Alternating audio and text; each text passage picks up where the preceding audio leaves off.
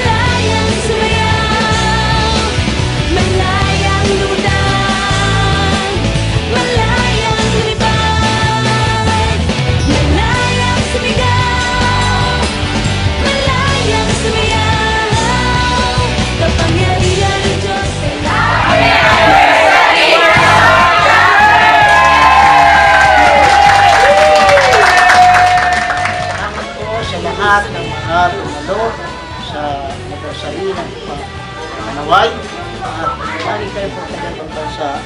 Ayan, ang inisahin ng Diyos ay patuloy kumaloy sa inyo. Salamat po. Salamat po.